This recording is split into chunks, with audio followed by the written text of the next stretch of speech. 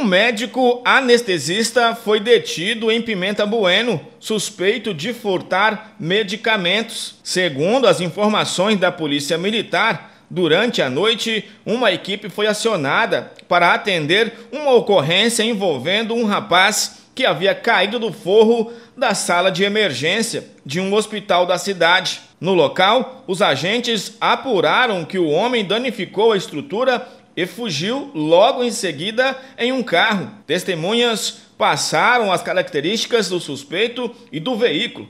E os policiais encontraram o carro estacionado na Avenida Brasil. Com a chegada da polícia, o suspeito tentou fugir, mas foi alcançado.